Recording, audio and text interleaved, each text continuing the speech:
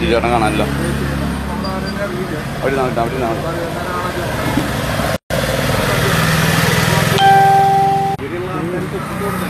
ഏ? ഇല്ലേ? ഏ? സാധനം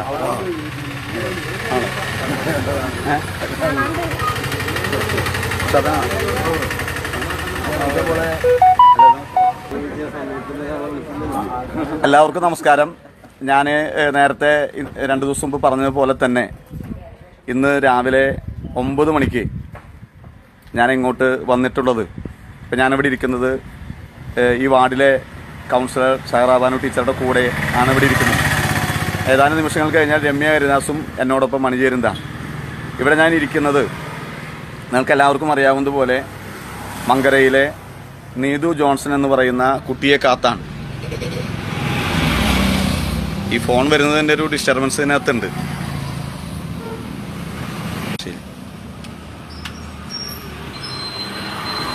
ഇപ്പോൾ സമയം ഏതാണ്ട് പത്ത് മണിയാകാൻ പോവുകയാണ്.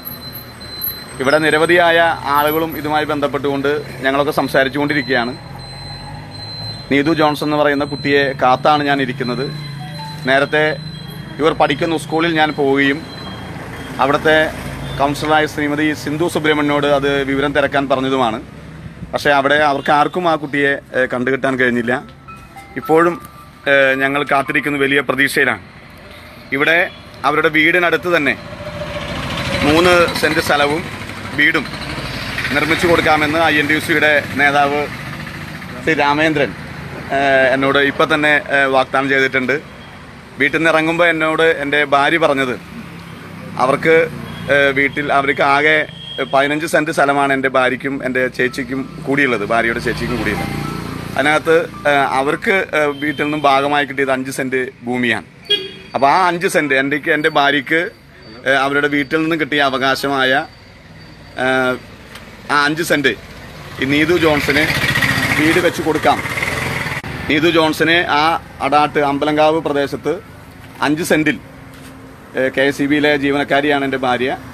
അവർ അവർ ലോൺ എടുത്ത് ആ കുട്ടിക്ക് വീട് വെച്ച് കൊടുക്കാമെന്ന് എന്റെ ഭാര്യ പറഞ്ഞ വലിയ ആവേശത്തിലാണ്. ഞാൻ ഈ വലിയ ദൗത്യം ഏറ്റെടുത്ത് ഇവിടെ ഇരിക്കുന്നത് ഇപ്പോൾ ഏതാണ്ട് പത്ത് മണിയായി. വലിയ പ്രതീക്ഷയിൽ തന്നെയാണ്. ഇവിടെ ഇതിനകത്ത് രണ്ട് കാര്യങ്ങളാണുള്ളത്. സി പി എമ്മിന്റെ സൈബർ ഇടങ്ങളിൽ ഇത് പറയുന്ന ഒരു സാഹചര്യം. അതുകൊണ്ട് തന്നെ ഞാൻ സി പി എമ്മിനെ ഇപ്പോഴും വിശ്വസിക്കുകയാണ്.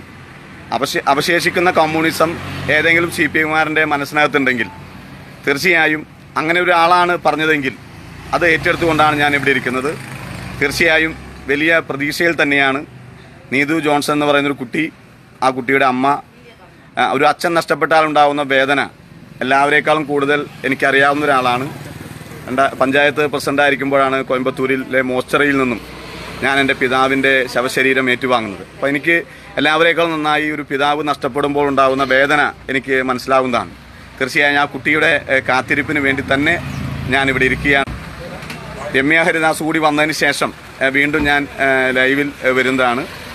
നിങ്ങൾക്ക് എന്റെ ഈ സന്ദേശം ഇപ്പോൾ ഫേസ്ബുക്കിൽ കാണുന്ന ആരെങ്കിലും ഉണ്ടെങ്കിൽ നീതു ജോൺസണോട് താല്പര്യമുള്ള ആരെങ്കിലും ഉണ്ടെങ്കിൽ അവരുമായി ബന്ധപ്പെടാൻ കഴിയുന്ന ആരെങ്കിലും ഉണ്ടെങ്കിൽ ഇതങ്ങോട്ട് ഷെയർ ചെയ്യണമെന്ന് വിനീതമായി ഒരിക്കൽ കൂടി അഭ്യർത്ഥിക്കുകയാണ്.